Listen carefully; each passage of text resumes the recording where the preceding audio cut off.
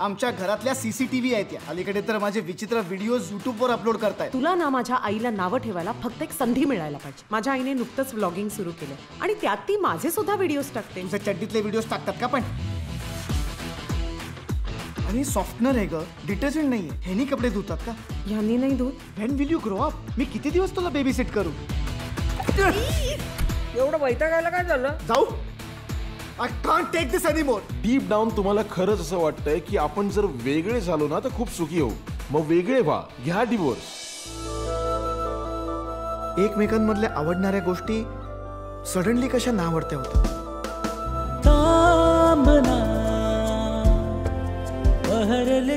वेचूया. आपण सगळं किती मेसअप केलंय ना? वळणाशी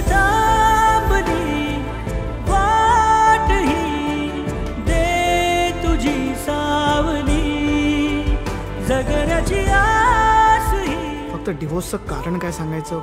हे ठरवावं लागेल. No no no no no दोन पिंक लाईन्स दाखवते is it a yes or no कमाल करताय तुम्ही. म्हणजे भांडून भांडून तुम्ही गोष्टी डिवोर्स पर्यंत आणता. आणि हे करण्यासाठी बरं मूड असतं तुमचं. मला कधीच आवडणार नाही की तू मी प्रेग्नंट आहे म्हणून माझ्या सोबत राहावंस. सरप्राईज बाळ आपले प्रॉब्लेम सॉल्व्ह करणार नाहीये. उलट अजून प्रॉब्लेम्स घेऊन येईल.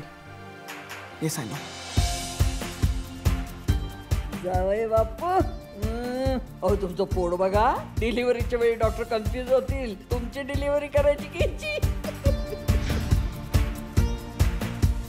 वॉटर बाथिंग म्हणजे बाळाला चक्क पाण्यात जन्म द्यायचा. हो एक्साइटिंग ना. They joking no we are. Not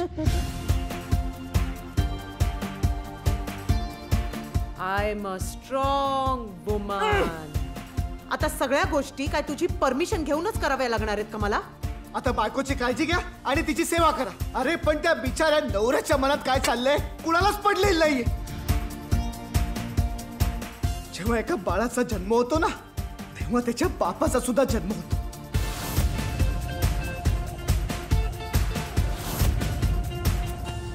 एवढंच होतं ना? तर करायचं होतं तुमच्या राजकन्याचं लग्न.